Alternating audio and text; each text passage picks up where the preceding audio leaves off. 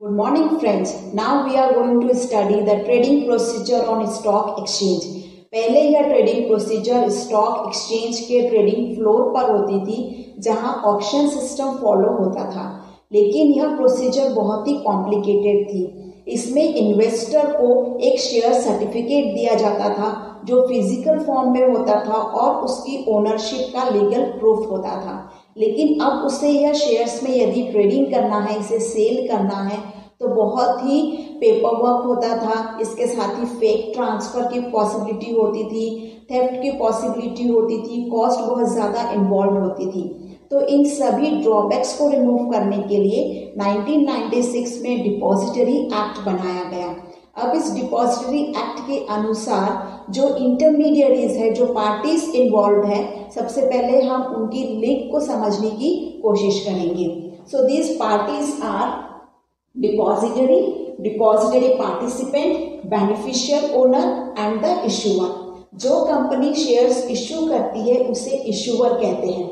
और जो इन शेयर्स को परचेज करता है, इनमें इन्वेस्ट करता है, उसे इन्वेस्टर या बेनिफिशियल ओनर कहते हैं। अब इस बेनिफिशियल ओनर को यदि शेयर्स में डीलिंग करनी है वो भी न्यू प्रोसीजर जैसे online screen based trading system के अनुसार तो सबसे पहले उसे अपना डीमेट अकाउंट ओपन करवाना होगा। डीमेट अकाउंट ओपन करने के लिए उसे डीपी के पास जाना होगा। डिपॉजिटरी पार्टिसिपेंट्स अब यह डिपॉजिटरी पार्टिसिपेंट कौन हो सकता है? यह स्टॉक ब्रोकर्स यानी बड़े ब्रोकर्स हो सकते हैं। जैसे Sharekhan, Religare Anand Rathi Motilal Oswal, the stock holding corporation of India.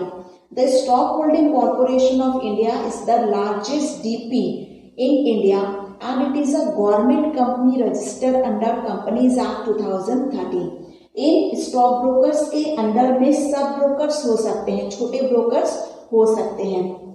इसके साथ ही DP non banking finance corporation भी हो सकती है, या फिर बहुत सी बैंक्स भी डीपी होती है, जैसे सी bank Punjab national bank state bank of India ICICI बहुत सी public sector private sector bank भी डीपी का काम करती है। अब यदि बेनिफिशियल ओनर को अपना डीमेट अकाउंट ओपन करना है, या फिर इन शेयर्स को बाय या सेल करना है तो सबसे पहले या तो वह अपने स्टॉक ब्रोकर यानी शेयर खान के पास जाएगा, या फिर वह शेयर खान के अंडर में जो सब ब्रोकर है, उसके पास जाएगा। आप आप एक से ज़्यादा डीमेट अकाउंट भी मेंटेन कर सकते हैं। जैसे एक डीमेट अकाउंट आपका शेयर खान के सब ब्रोकर के पास खुला है, दूसरा अकाउंट आपने रेलिगेयर के सब ब्रोकर के पास ओपन किया है, तीसरा डीमेट अकाउंट आपने आनंद राठी के सब ब्रोकर के पास ओपन किया है। जैसे आपके पास एक से ज़्यादा बैंक अकाउंट होते हैं, बैंक में मनी डिपॉजिट होती है या उसमें से विड्रॉल हो सकती है। इसी तरह डीमेट अकाउंट में shares, debentures, bonds electronic form में हो सकते हैं, जहाँ पर वे बाय भी हो सकते हैं और सेल भी हो सकते हैं। इसका मतलब डीमेट अकाउंट हमारा पोर्टफोलियो बताता है। अब आप जो भी ट्रांजेक्शन करेंगे, वह डीपी के थ्रू डिपॉजिटरी को भी पता चलेगा। सपोज़ आपका अकाउंट सब ब्रोकर वन के पास है। यह sub broker one share Khan के पास रजिस्टर्ड है। तो यह सब ब्रोकर का अकाउंट शेयर खान के पास, यानी डीपी के पास है। डीपी का अकाउंट डिपॉजिटरी के पास है। तो आप जो भी ट्रांजेक्शन करेंगे, वह डिपॉजिटरी के थ्रू ही होंगे। यह डीपी डिपॉजिटरी एक्ट के अनुसार गवर्न होता है। डिपॉजिटरी का एजेंट होता है। सेबी में रजिस्टर्ड होता है। स्टॉक एक्सचेंज का मेंबर होता है।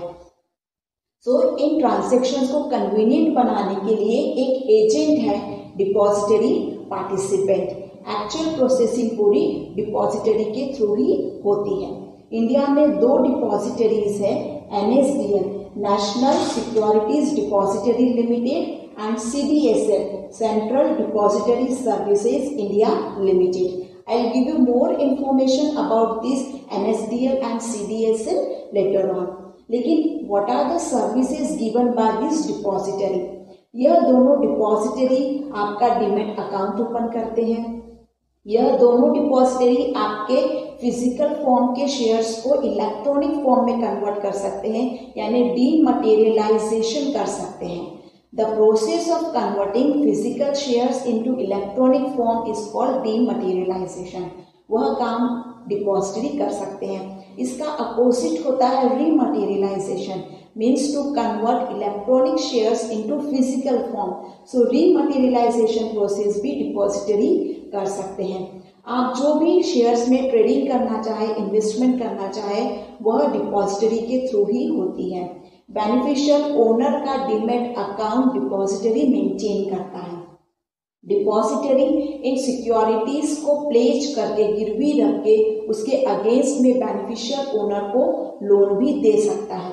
So all these are the services given by a depository अब मान लीजिए आपको आपके फादर या ग्रैंडफादर ने कुछ फ़िज़िकल फॉर्म में शेयर सर्टिफिकेट्स दिए हैं, जिसकी पहले कोई वैल्यू नहीं थी, लेकिन अब उस कंपनी के शेयर्स की मार्केट वैल्यू बहुत ज़्यादा इंक्रीज हो चुकी है।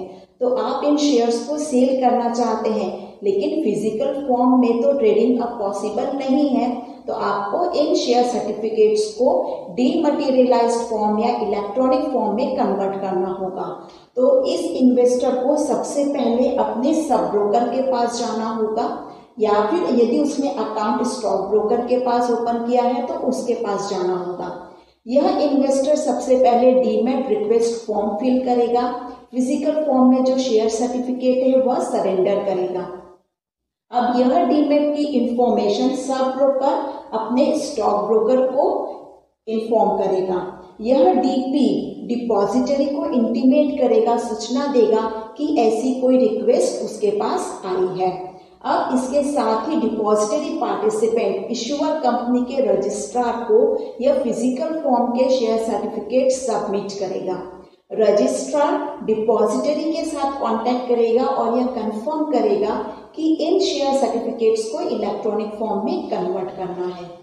इन शेयर्स को इलेक्ट्रॉनिक फॉर्म में कन्वर्ट करने का काम रजिस्ट्रार ही करता है।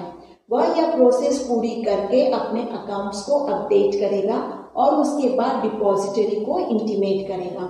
डिपॉजिटरी अब अपने अकाउंट को अपडेट करेगा और डीपी को इन्फॉर्म करेगा। अब डीपी अपने इन्वेस्टर के अकाउंट को अपडेट करेगा और उसे इन्फॉर्म करेगा। इस तरह यह डीमटेरियलाइजेशन पूरी होती है और यह physical share certificates electronic form में कन्वर्ट होकर इन्वेस्टर के डीमेट अकाउंट में डिपॉजिट हो जाते हैं। अब इन्वेस्टर इन शेयर्स को इजीली सेल कर सकता है। So I hope you have understood the dematerialisation process now we see more information about depository Depository is an organization which holds securities like shares, debenture, bonds of investors in electronic form at the request of the investor through a registered depository participant. Depository एक ऐसी organisation है जो beneficial owner के behalf पर उसकी financial securities जैसे shares debenture और bonds को इलेक्ट्रॉनिक फॉर्म में, यानी डीमेट अकाउंट में होल्ड करती है और इन सभी के लिए उसे एक इंटरमीडिएट की ज़रूरत है जिसे हम कहते हैं डिपॉजिटरी पार्टिसिपेंट यह डिपॉजिटरी पार्टिसिपेंट स्टॉक ब्रोकर हो सकता है नॉन बैंकिंग फाइनेंस कॉरपोरेशन या फिर बैंक्स भी हो सकती हैं to ensure free transferability of securities with speed, accuracy and security, the Depository Act 1996 was passed. जब यह सिक्योरिटीज ट्रेडिशनल फॉर्म में थी शेयर सर्टिफिकेट्स फ़िज़िकल फॉर्म में डिस्ट्रीब्यूट किए जाते थे तो उस समय की जो कॉम्प्लेक्शंस थी प्रॉब्लम्स थी, उन सभी को रिमूव करने के लिए 1996 में डिपॉजिटरी एक्ट पास किया गया, ताकि इन फाइनेंशियल सिक्योरिटीज के ट्रांजेक्शन स्पीड एक्यूरेसी और सिक्योरिटी के साथ हो सके। There are two depositories in India National Securities Depository Limited NSDL. It is established in 1996 in Mumbai. It is the first electronic security depository and NSDL is promoted by Industrial Development Bank of India, Unit Trust of India and National Stock Exchange. The second depository is Central Depository Services India Limited CDSL it is promoted by Bombay Stock Exchange Limited, HDFC Bank Limited, Standard Chartered Bank, and Canara Bank. Now we see trading procedure on a stock exchange. This is online screen-based trading system. In this system, there are various steps. The first step is selection of broker.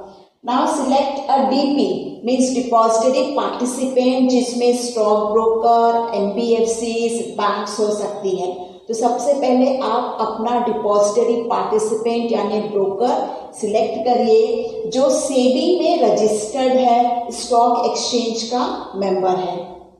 Broker में भी individual partnership firm और corporate body यह broker अकेला हो सकता है means one individual हो सकता है। यह पार्टनरशिप फर्म में अपनी ब्रोकरेज एजेंसी स्टार्ट कर सकता है, या फिर यह एक कंपनी भी हो सकती है। ब्रोकर चार्जेस ब्रोकरेज और द कमीशन अब अपनी सर्विसेज़ के बदले में यह डीपी आपसे ब्रोकरेज कमीशन चार्ज करेगा। Now after selecting the broker the second step is opening demat account demat account means dematerialise account आपको अपनी सिक्योरिटीज इलेक्ट्रॉनिक फॉर्म में रखने के लिए एक डीमेट अकाउंट की ज़रूरत है। Open demat account with DP to trade in listed securities in electronic form अब आपका ब्रोकर आपके लिए एक डीमेट अकाउंट ओपन करेगा तो आपको एक फॉर्म फिल करना होगा। कुछ डॉक्यूमेंट सबमिट करने होंगे, जैसे पैन कार्ड, जो मैंडेटरी डॉक्यूमेंट है, आधार कार्ड रिक्वायर्ड फ़ीस आपको डीपी को सबमिट करनी होगी। Depository hold securities in electronic form and interact with investor through DP अब इन्वेस्टर का अकाउंट डीपी के पास होता है। डीपी का अकाउंट डिपॉजिटरी के पास होता है। तो इनडायरेक्टली इन्वेस्टर के डीमेट अकाउंट में जो भी सिक्योरिटीज है, वह डिपॉजिटरी ही होल्ड करता है। डिपॉजिटरीज हमने देखे इंडिया में एनएसडीएल एंड सीडीएसएल है। DP maintains and intimates the account status to investor from time to time अब आप अपने डीपी से रेगुलरली इंटरैक्ट करते हैं, वह आपको आपके अकाउंट का स्टेटस रेगुलरली इन्फॉर्म करता है। जैसे बैंक आपको अकाउंट स्टेटमेंट देती है, वैसे ही डीपी आपको अकाउंट स्टेटस देता है, जिससे आपको पता चलता है कि आपने कितने ट्रांजेक्शन्स किए, कितने इसमें बाइंग के ट्रांजेक्शन्स हैं और कितने सेल के ट्रांजेक्शन्स हैं। Now the third step is placing the order securities of listed company can be traded on the stock exchange जो कंपनी अपनी सिक्योरिटीज स्टॉक एक्सचेंज में लिस्ट करवाती है, केवल उन्हीं सिक्योरिटीज की ट्रेडिंग यानी buying and selling stock exchange के थ्रू पॉसिबल है। कम्युनिकेट पर्सनली और through telephone cellphone email etcetera यानी एक इन्वेस्टर बेनिफिशियल ओनर अपने ब्रोकर से पर्सनली कम्युनिकेशन कर सकता है। या फिर टेलीफोन पर, मोबाइल फ़ोन या ईमेल के थ्रू भी इंटरेक्शन कर सकता है। Communicate the order of buy and sell of securities number and price range अब यह इन्वेस्टर अपने ब्रोकर को इंटीमेट करेगा कि उसे कौन सी कंपनी की कितनी सिक्योरिटीज परचेज करनी है और किस प्राइस में परचेज करनी है। मान लीजिए आपने अपने ब्रोकर को बताया, या फिर आजकल तो मोबाइल फ़ोन पर आपने सिस्टम में ऑर्डर प्लेस कर दिया कि आपको किसी एक कंपनी के पर्टिकुलर कंपनी के hundred shares ninety seven rupees per share के हिसाब से परचेज करने हैं। मान लीजिए अभी उस कंपनी का करंट मार्केट वैल्यू है नाइन्टी फाइव रुपीज़ आज के दिन जैसे ही यह प्राइस नाइन्टी सेवन आएगा यह सिस्टम अपने आप आपके ऑर्डर को एग्जीक्यूट कर देगा कंप्लीट कर देगा। क्योंकि यह ब्रोकर्स स्टॉक एक्सचेंज से टर्मिनल के थ्रू कनेक्टेड होते हैं। Now the fourth step is executing the order broker executes buy और सेल सिक्योरिटीज आपके बिहाफ पर ब्रोकर आपके लिए सिक्योरिटीज परचेज करता है या सेल करता है। यदि आप मोबाइल फ़ोन पर ऑर्डर प्लेस करते हैं तो जैसे ही वह प्राइस रेंज आता है सिस्टम अपने आप यह ऑर्डर एग्जीक्यूट कर देगा broker issues contract note and this contract note includes the name and price of securities names of parties involved and the brokerage charged. हर ब्रोकर का ब्रोकरेज रेट अलग अलग हो सकता है broker signs the contract note and gives a copy to the client अब broker इस contract note को साइन करेगा और इसकी एक कॉपी अपने क्लाइंट को भिजवाएगा। Now the last step is settlement equity spot market follows T plus two rolling settlement यदि आपने इक्विटी शेयर्स में ट्रेड किया है तो आपका सेटलमेंट टी प्लस टू के हिसाब से हो जाएगा। Now we see example what is this T plus two mean trade on Monday यदि आपने बाइंग और सेलिंग का ट्रांजेक्शन मंडे को किया है तो वह हुआ आपका T transaction day plus two days means Tuesday Wednesday Wednesday तक पूरा सेटलमेंट हो जाएगा। इसका मतलब यदि आपने सिक्योरिटीज बाय की है तो आपके डीमेट अकाउंट में सिक्योरिटीज डिपॉजिट हो जाएगी और मनी का पेमेंट हो जाएगा। यदि आपने सिक्योरिटीज सेल की है तो वेनेसडे तक आपके डीमेट अकाउंट से सिक्योरिटीज माइनस हो जाएगी और मनी आपको रिसीव हो जाएगी। Trading on stock exchange Monday to Friday according to Indian market the trading on stock exchange is open Monday to Friday and the timings are 9:55 AM to 3:30 PM securities are delivered in electronic form demat account जब भी आपका transaction settle होता है तो यह settlement demat account यानी electronic form में ही होता है। सिक्योरिटीज भी इलेक्ट्रॉनिक फॉर्म में रिसीव होती है और डिलीवर भी इलेक्ट्रॉनिक फॉर्म में ही होती है।